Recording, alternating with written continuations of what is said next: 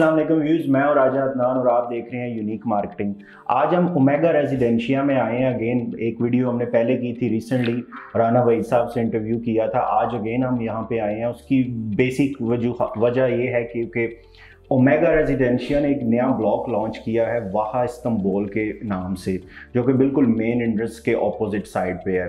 तो हम पहले भी जो वीडियो करके गए थे, उस पर काफ़ी लोगों ने क्रिटिसाइज़ किया था ओमेगा के हवाले से कि ओमेगा ने डिलीवर नहीं किया और ओमेगा की जो है वो प्राइजेज माइनस में है कुछ।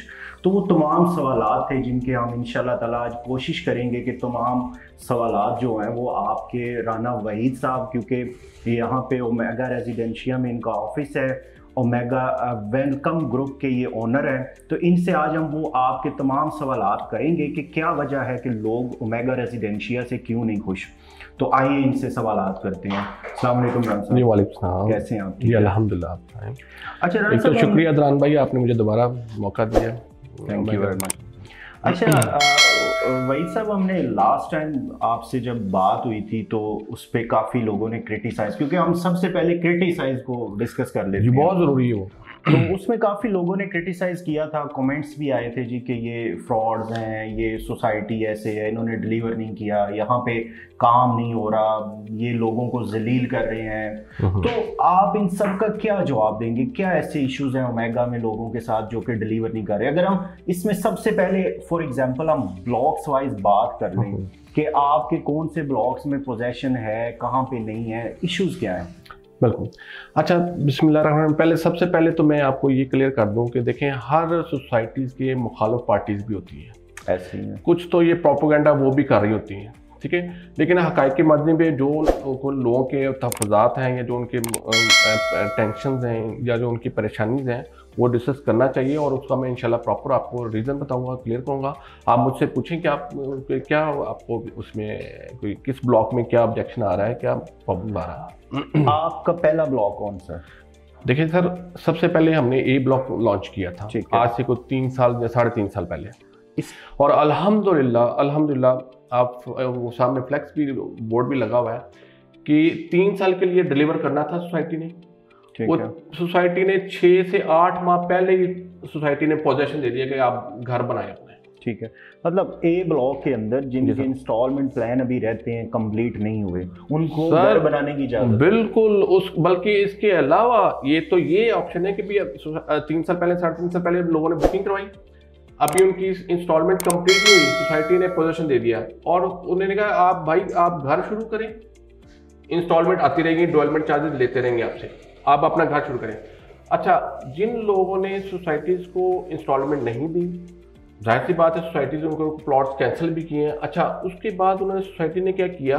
जो प्लॉट कैंसिल हुए हैं, कुछ सौ के करीब प्लॉट से ऐसे कि जो लोगों ने डे फ़र्स्ट से सोसाइटी को कोई इंस्टॉलमेंट दी नहीं है। उन्होंने दोबारा लॉन्च किए ओनली टेन परसेंट पे।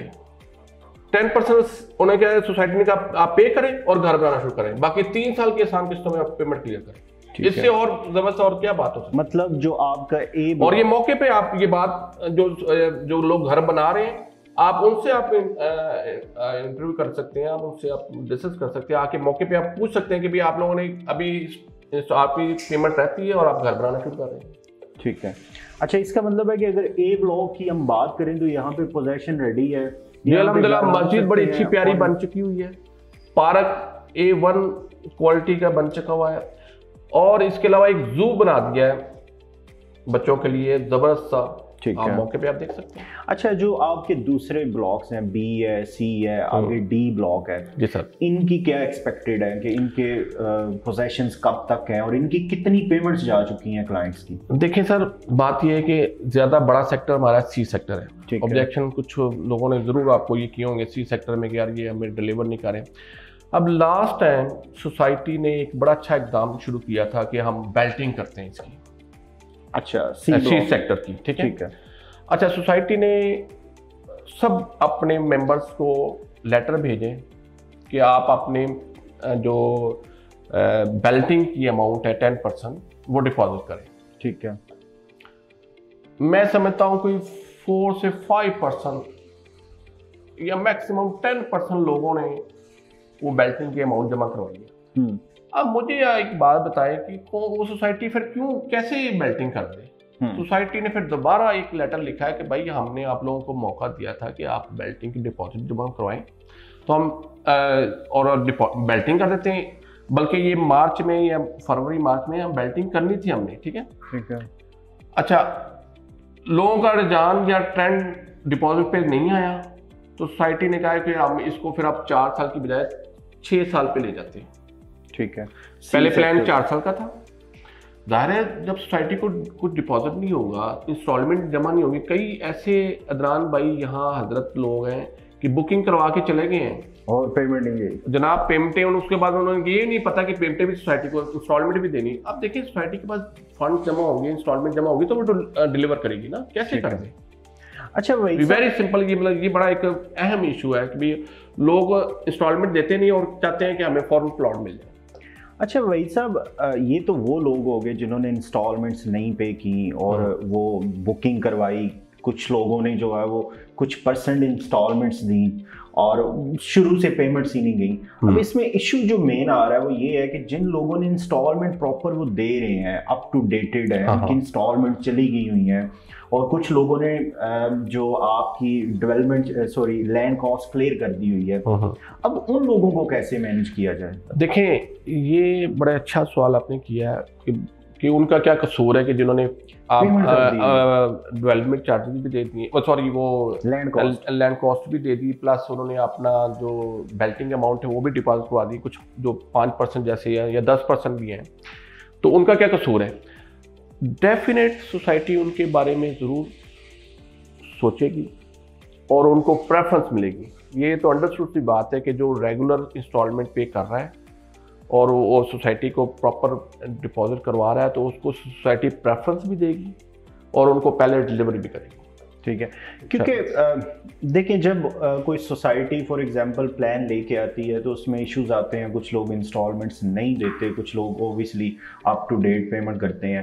अब हाँ। जिन लोगों ने पेमेंटें कर दी हुई हैं उस उनके लिए सोसाइटी को चाहिए बल्कि आप सब लोग जो है वो मैनेजमेंट के पास सर डेफिनेट ये आप हमारे उनके कहने की बात नहीं है। वो डेफिनेट इस, इस पे वर्क हो रहा है और सोसाइटी इसको वॉच करेगी और इस पे अमल दमल करवाएगी।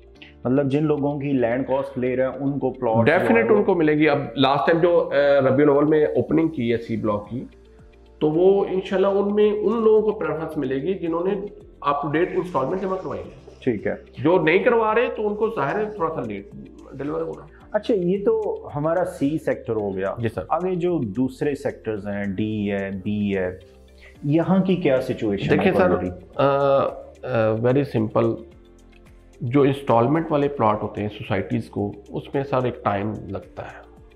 अगर आदमी ये कहे ना कि आज मैंने बुकिंग करवाई है और साल बाद या दो साल बाद हमें पोजीशन मिल जाए तो ये थोड़ी सी मुश्किल सी बात है। कोई थोड़े से तो नहीं होते ना हम्म। इतने मेंबर होते हैं और सबको उन्होंने ज़ाहिर है उनकी इंस्टॉलमेंट जैसे जैसे लैंड आगे ख़रीदनी है लैंड को क्लियर करना है तो उस पर सारे मामला होते हैं।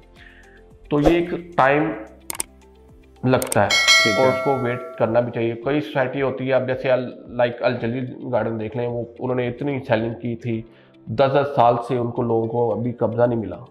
ठीक है? तो इसको तो अभी यार पूरी सोसाइटी को साढ़े तीन चार साल से ज़्यादा हुए नहीं है। और मैं समझता हूँ कि साढ़े तीन साल या साढ़े तीन साल में या मैक्सिमम चार साल भी लगा लें आप। चार साल में इतना माहौल जो बन गया है ओमेगा रेजिडेंशिया में आप विज़िट करें। तो मैं समझता हूँ ये बड़ी अचीवमेंट है। अच्छा अचीवमेंट हो गई। आप मुझे ये बताएँ कि जिन लोगों ने यहाँ पे प्लॉट परचेज किए हुए हैं फ़ाइल बुक की हुई हैं हम्म। उनको प्लॉट मिलेंगे?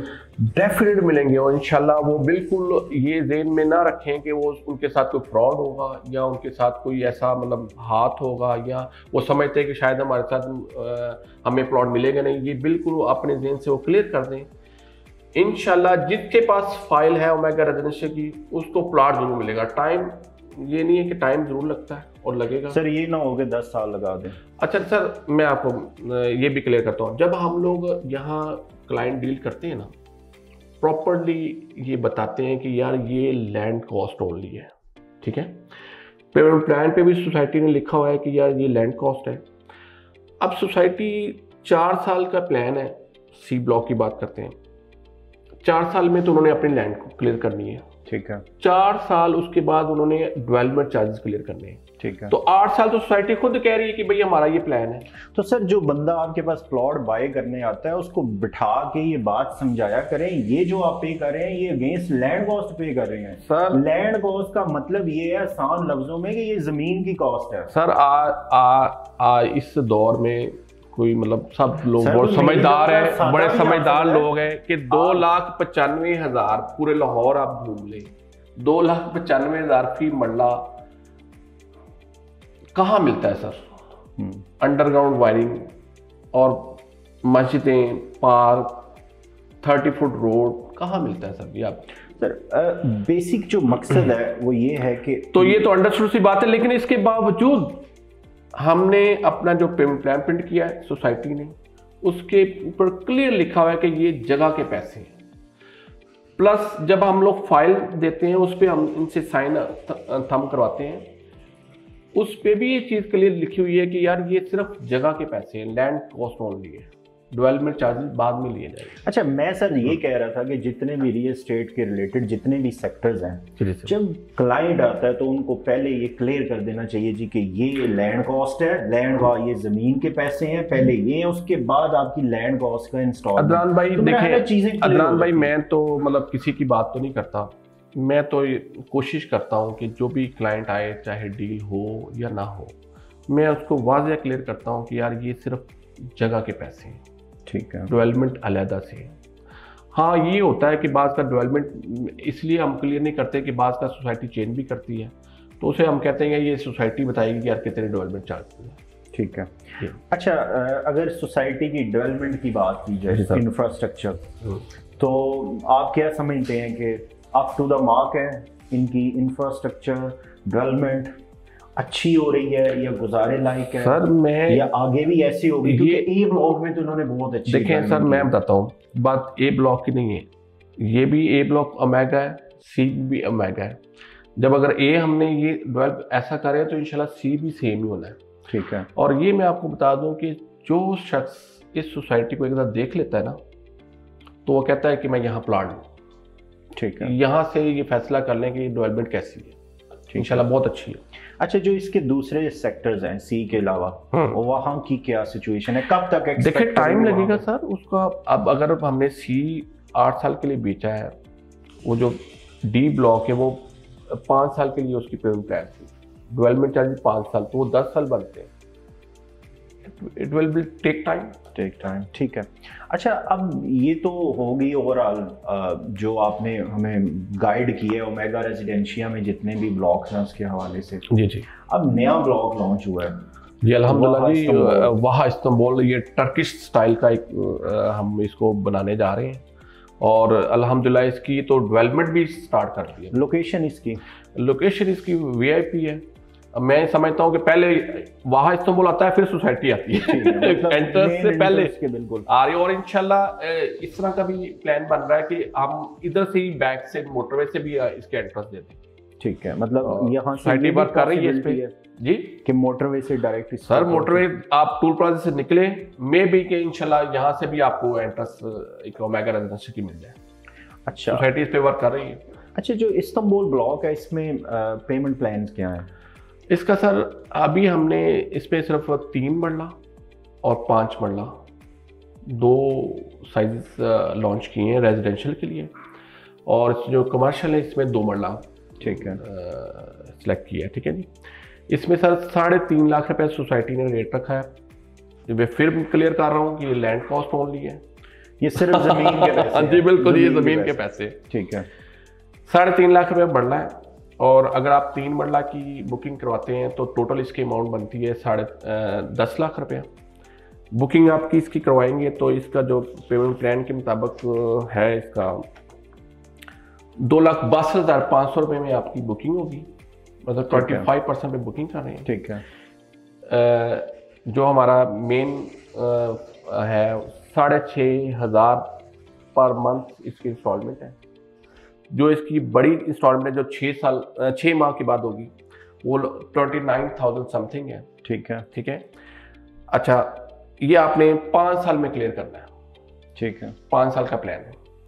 इसी तरह अगर आप पाँच मरले में जाते हैं तो इस सत्रह लाख पचास हज़ार रुपये का इसका लैंड कॉस्ट है। ठीक है। इसकी बुकिंग करवाते वक्त आपको चार लाख सैंतीस हज़ार पाँच सौ रुपये देना पड़ेगा। ठीक है।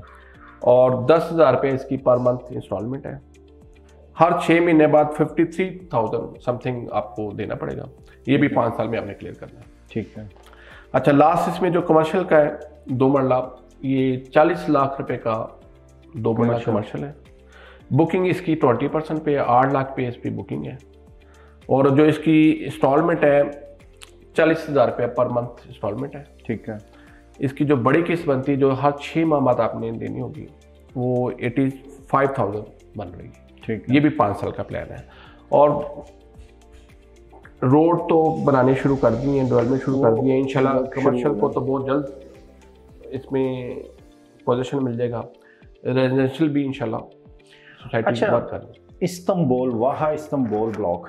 जी। इसमें क्या ऐसी चीज़ है जो ओमेगा ने दूसरे ब्लॉक्स में नहीं की जो उसमें करने जा रहे हैं? देखें एक तो आप पहले जैसे हो चुका है एक तो इसमें बड़ी ज़बरदस्त अट्रैक्शन यही है कि यार इसकी लोकेशन बड़ी प्यारी है। मोटरवे के बिल्कुल साथ है और आप यूँ समझे कि आप मेन से जब अंदर आते हैं तो पहले वहाँ इस्तेमाल आ रहा है बाद में सोसाइटी का एंट्रेंस आ रही है। मतलब ये थोड़ा सा रोड मेन से करीब हो गया। दूसरा इसमें ज़ाहिर है टर्की का नाम ऐसे नहीं डाला। इसमें हम टर्की स्टाइल की जो इसमें मसाजिद वो भी बनाएँगे। और इसमें थोड़ा सा जितना टर्की स्टाइल दे सके इसमें हम इसमें इंशाल्लाह उसको मतलब फॉलो करके उसके मुताबिक तर्ज अमल की जो है वो डेवलपमेंट होगी। ठीक है। जी सर। अच्छा और बेहतर करने की कोशिश कर। रहे हैं चले अल्लाह करे। अच्छा इसमें एक चीज़ जो आपसे डिस्कस करना चाह रहा था पहले भी कि इनकी एक तो एंट्रेंस आ रही है जो कि ये फैजपुर इंटरचेंज वाली साइड से। जी सर। एक दूसरा रास्ता सुना था जो कि शर्कपुर रोड वाली साइड से कोई आएगा। सर डेफिनेट निकलना है। उसमें कोई डाउट नहीं है कोई उसमें हर्डल नहीं है लेकिन टाइम लगेगा उस पर ठीक है। देखें कुछ चीज़ें होती हैं कोई ज़मींदार होता है बाज़ का कोई सोसाइट प्लॉट या अपनी ज़मीन बेच रहा होता है कोई ऐसे भी होते हैं कि यार कहते हैं नहीं यार मैंने बेचनी नहीं है। लेकिन एक वक्त आता है कहते हैं ठीक है यार हमने आपको ही। देनी है और इसके अलावा तो कोई खरीदेगा नहीं। ठीक है। वो ओमेगा रेजिडेंशियल ही खरीदना है। तो लिहाजा अगर कोई उसमें कोई पीस या टोटा को रह गया है खरीदने वाला तो वो जल्द सोसाइटी उस पर वर्क कर रही है। ठीक है। अब देखें रहमान गार्डन जब शुरू हुआ था तो उसका एक गेट था आज से 20 साल पहले। तो अभी तो इसको चार साल हुए हैं। अब रहमान गार्डन कितने गेट हैं? इंशाल्लाह इसके भी तीन चार गेट बनेंगे इंशाल्लाह। चलें। अल्लाह करे रास्ता भी निकले सिर्फ़ गेट ना सर डेफिनेट सर। अच्छा। नहीं देखें गेट सर आपने तो नाज भाई कैसी बात कर दी। गेट किसके लिए? रास्ते के लिए चले चले वरना तो एंट्रेंस तो ऑलरेडी बनी हुई हमारी। ठीक है अच्छा सर जी एक चीज़ ये है कि हमारी जो क्लाइंट्स हैं कुछ अब सब क्लाइंट्स इन चीज़ों को समझते अच्छा। सॉरी वहाँ इस्तेमाल के मैं एक थोड़ा सा मैं आपको और भी जरा वजाहत कर दूँ। इसमें सर एक बड़ी ज़बरदस्त ये है कि ये विद नंबर विद लोकेशन मतलब ये है कि नक्शे के साथ हम लोग इसको सेल कर रहे हैं। ठीक है। प्लॉट नंबर हम लगा के दे रहे हैं। नक्शा इसका बन चुका हुआ है और नक्शे पे काम भी शुरू हो गया है। मतलब जो क्लाइंट आएगा वो नंबर चूज़ करके। जी नंबर जो चूज़ होगा जो मतलब उसको अगर सेल हो चुका हो तो वो नहीं मिल सकेगा।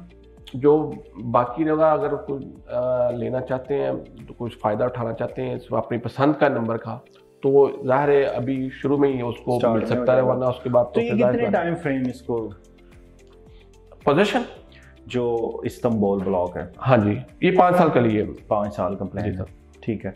अच्छा ये तो होगी तमाम चीज़ें इस्तंबुल ब्लॉग और दूसरे ब्लॉग्स की। एक। ज़रा अपने हमारे व्यूज़ को ये बता दें कि एक बंदा आता है उसने प्लॉट बुक करवाना है वो आपके पास आ गया उसका कंप्लीट प्रोसीजर बता दें और क्या एहतियाती तदावीर है उन्हें करनी चाहिए। देखिए सर एक तो वो फॉर्म सोसाइटी का है ठीक है। हम्म, वो उन्होंने जो प्रिंटेड किए हुए हैं साथ पेमेंट प्लान का भी साथ एक प्रिंटेड है उस पर भी साइन होते हैं ठीक है। तो इंशाल्लाह वो जो सोसाइटी का फॉर्म है तो वो वही उसकी तस्दीक है ठीक है। तो यहाँ जो ओमेगा के अंदर सारे ऑथराइज डीलर्स हैं आप एनीवन किसी के पास भी जा सकते हैं आप बुकिंग करवा सकते हैं कोई मसला बुकिंग नहीं का प्रोसेस थोड़ा सा ज़रा ब्रीफली बता दें। देखिए फ़र्स्ट टाइम तो उसका फॉर्म फिल होता है। ठीक है। ठीक है? वही फॉर्म हम सबमिट कराते हैं सोसाइटी में। मैनुअल फॉर्म है हम फ़ीड करते हैं। उसके लिए दो तस्वीर चाहिए होती है जिनके परचेज़र हैं। ठीक है। और आईडी कार्ड कॉपी चाहिए जिसने परचेज करना है।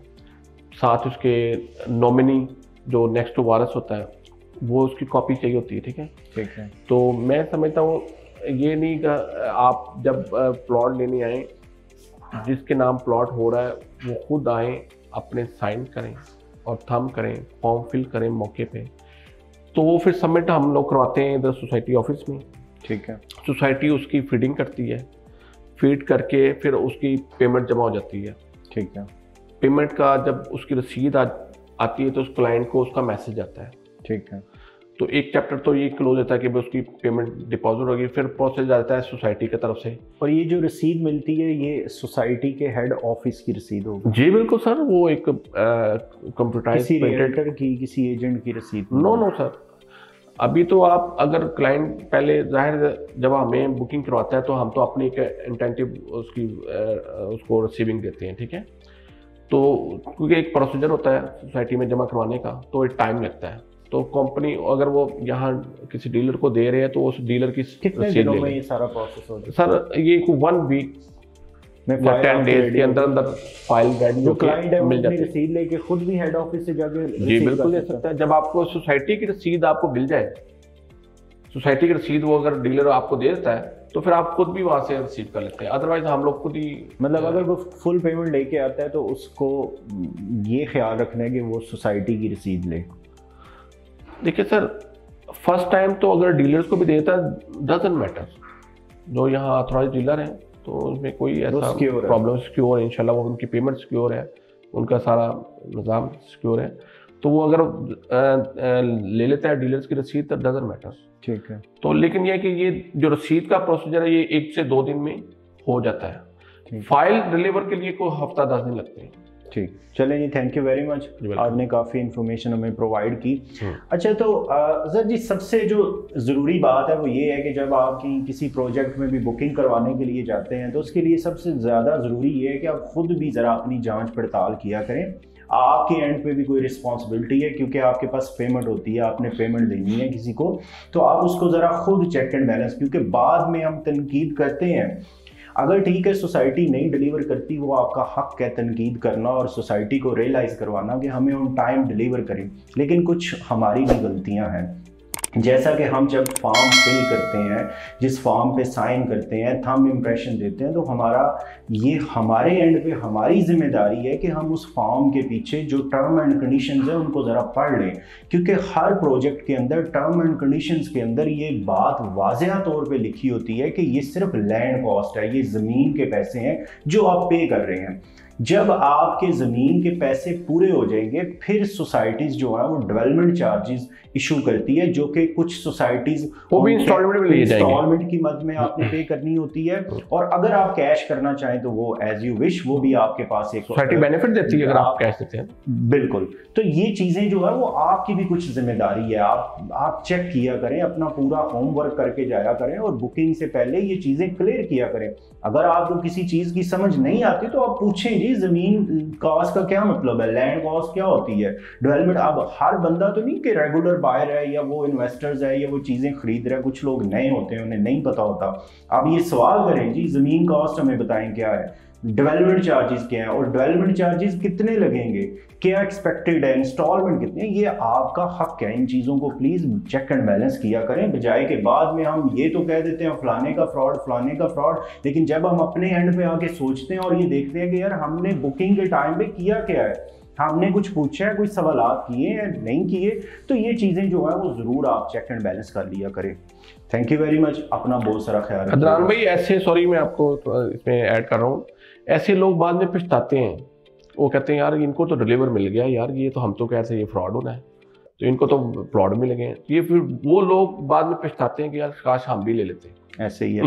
तो क्योंकि ये वही बात राना साहब ने कही है कि अल्टीमेटली जो प्रोजेक्ट्स हैं जो अच्छे प्रोजेक्ट्स होते हैं वो डिलीवर तो करते हैं लेकिन इंस्टॉलमेंट ज़रा मैं अक्सर वीडियोस में बताता रहता हूँ उस पर ज़रा टाइम फ्रेम ज़्यादा लगता है। और कुछ हमारी अपनी ये भी गलतियाँ एट द सेम टाइम कि हम इंस्टॉलमेंट्स भी पे नहीं करते। सोसाइटीज़ कॉल करती रहती है कि कुछ लोगों की आ, मैं उस दिन हेड ऑफ़िस के अंदर गया तो हज़ारों फाइलें पड़ी हुई थी जो कि कैंसिलेशन के लिए थी उनकी डाउन पेमेंट के बाद इंस्टॉलमेंट ही नहीं गई। तो देखें हमारी भी गलतियाँ हैं। तो खैर, अपना बहुत सारा ख्याल रखिएगा। थैंक यू वेरी मच अल्लाह हाफिज़।